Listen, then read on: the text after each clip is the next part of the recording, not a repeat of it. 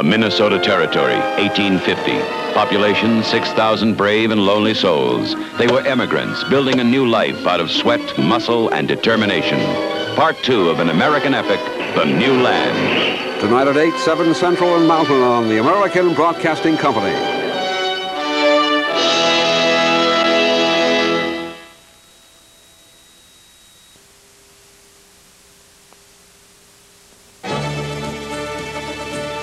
From New York, this is ABC News. Now, Harry Reasoner. Good evening. There were funerals in both Israel and Uganda today, the results of Israel's weekend raid to rescue more than 100 hostages from pro-Palestinian hijackers at Entebbe Airport in Uganda.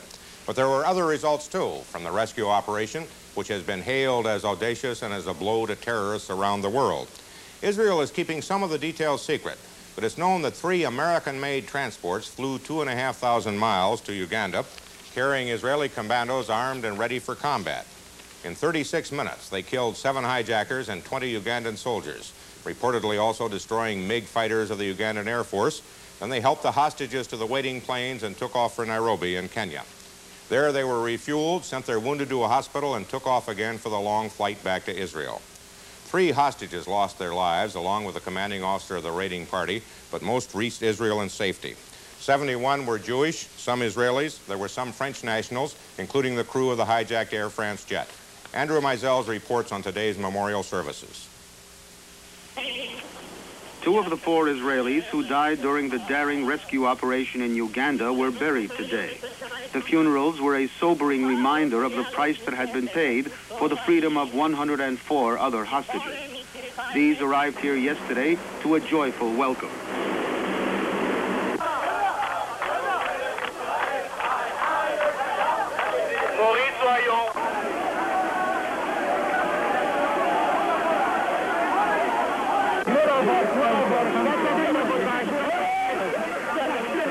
Here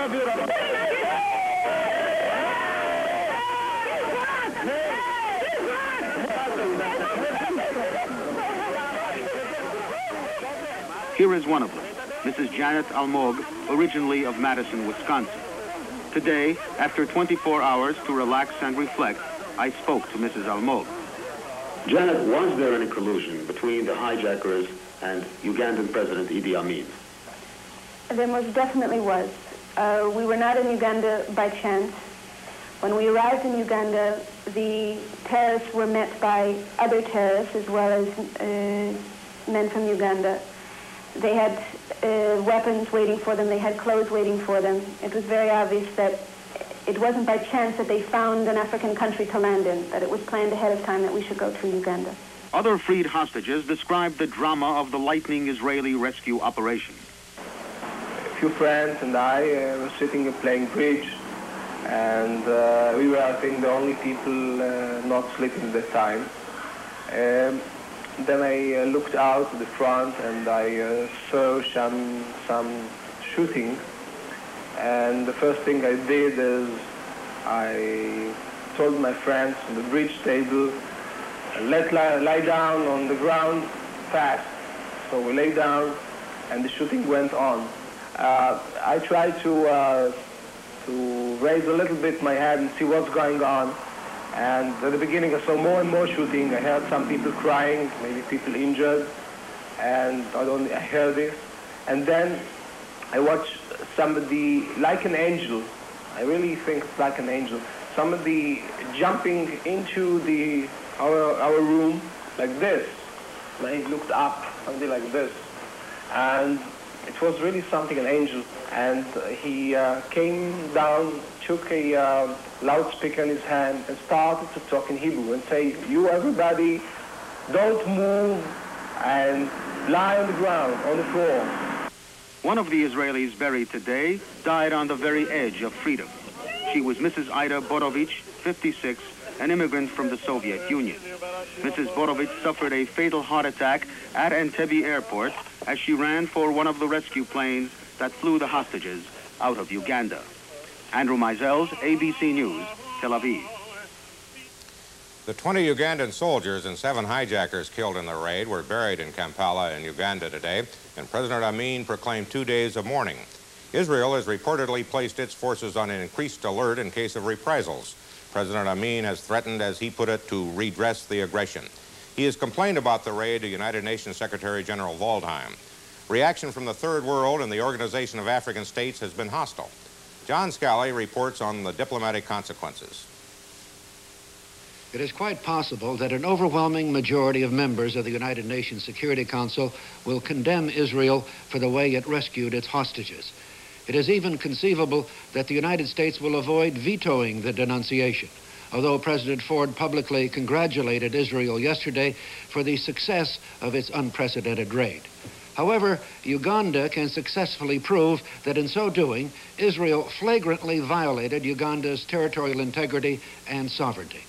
This cardinal rule of international law is enshrined in the United Nations Charter, and Secretary General Waldheim has to uphold it no matter how noble the motive of the transgressor.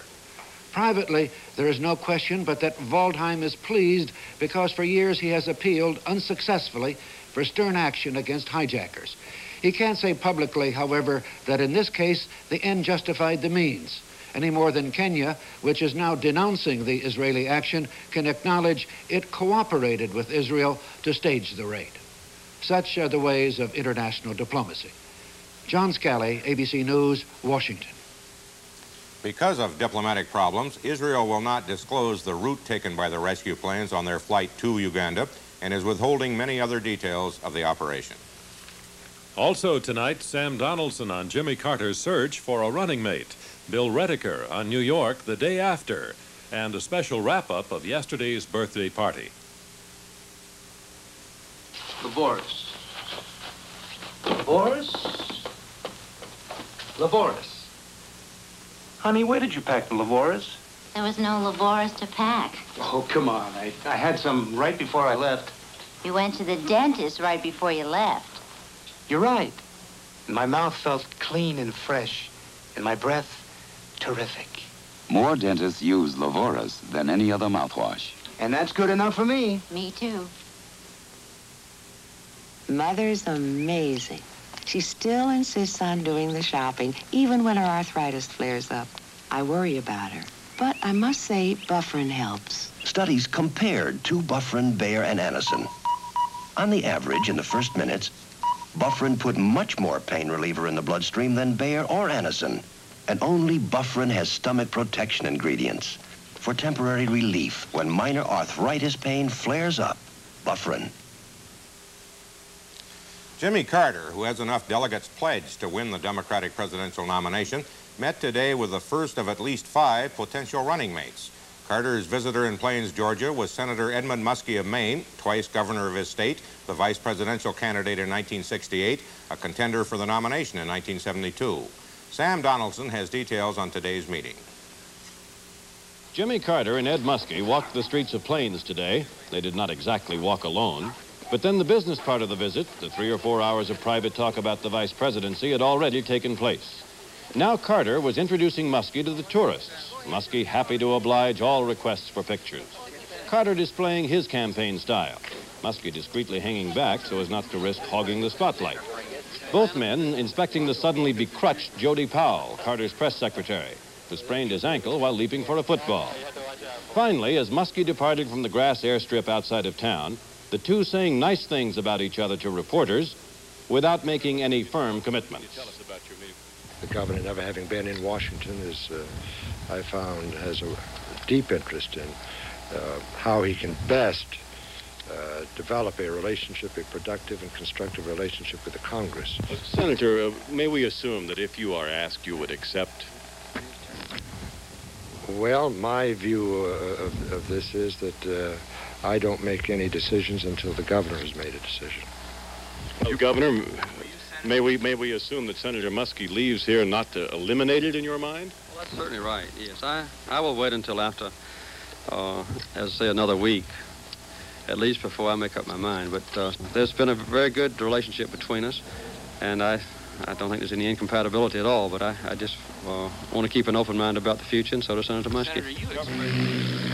One down, at least four more to go. Of such drama is the vice presidential nomination made.